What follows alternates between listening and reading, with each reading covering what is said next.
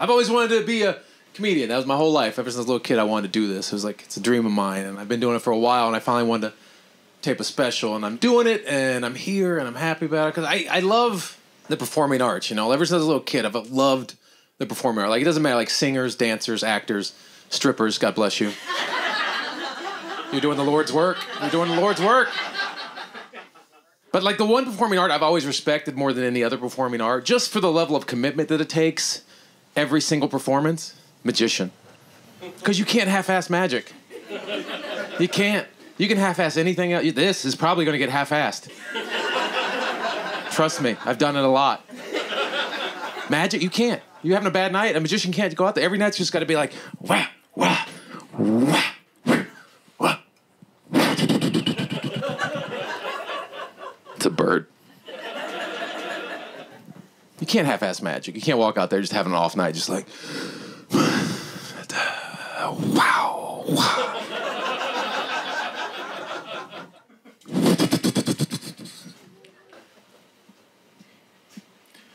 Rabbit. Ta-da. You know the other thing you can't half-ass? Streaking. Because you're naked and you're trying to get across a football field before you get tackled. You have to want that. Because, like in the 70s, they kept the camera on him and you'd watch the guy run around for like 30 minutes before he got tackled. They don't do that now. As soon as the guy jumps on the field, they take the camera, put on the guys in the booth, guys, and be like, sorry, we do not condone streaking. As soon as he's removed from the field, we'll return to the game. Like, you really want to stop a streaker forever? Keep the camera on him. Block all the exits and just let him run around for a while. Until shame sets in. He'd be streaming like, yeah, all right, woo, okay. Anytime you wanna.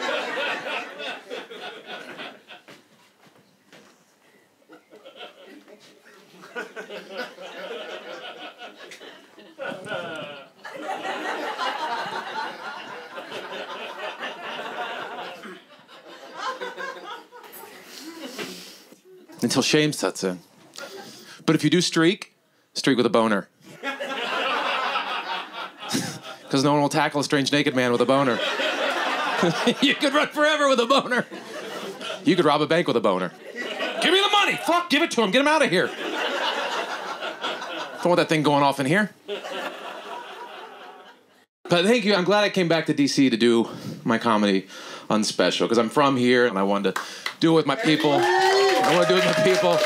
Um, so thank you guys for coming out and supporting. I love, I've always lived in big cities. Here, I live in Los Angeles now. You know, I the reason I love big cities is because you, you see things here that you don't see in like small towns or neighborhoods. You know, like like uh, two days ago when we got in town, I saw a guy on a Segway uh, dressed as a Minuteman.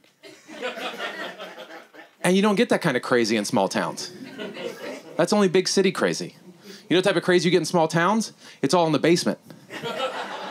You don't know about it. You're living next to somebody for 10 years. One day they invite you over for dinner. Next thing you know, you're in the basement, part of a human centipede.